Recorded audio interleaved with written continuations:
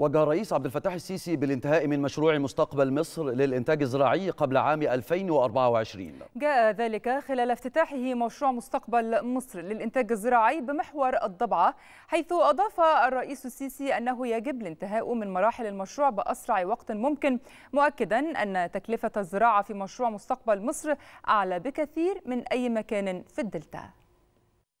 إحنا كلامنا إن إحنا ما نقدرش نستنى لغاية 24 يا بهاء. تمام سيادة. طب ده هيبقى محتاج مننا وإحنا موجودين دلوقتي كده. يمكن نضغط على نفسنا شوية عشان الظروف اللي أنتوا شايفينها مش كده ولا إيه؟ صح. فيعني أرجو إنك أنت إيه يعني أنا أنت عارف حاجتك اللي بتعملها وأنا متأكد من كده. تمام لكن أنا يهمني إن إحنا كمصريين دلوقتي نبقى شايفين ده وإحنا بن وشايفين تطوراته وال... والأهداف بتاعته إيه. لأن أنا هتكلم في الموضوع ده على حاجات كتير. تمام وبالتالي ادينا فرصة ان إحنا نبقى مطمنين. أنا ما أقدرش اكون مطمئن لو تجاوزت 23 يا بهاء تمام سيادة. في الرقم اللي انت حاطه هنا في في مستقبل مصر. مصر غير اللي في توشكا وبني سويف والمنيا واللاهون.